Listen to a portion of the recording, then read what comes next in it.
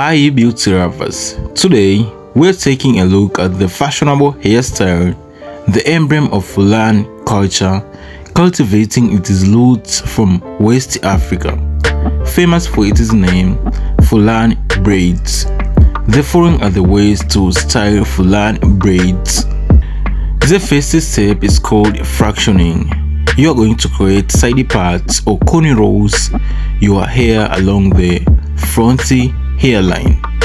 The second step is called braiding. Pick a single part and then braid it to make a single braid or cornrow.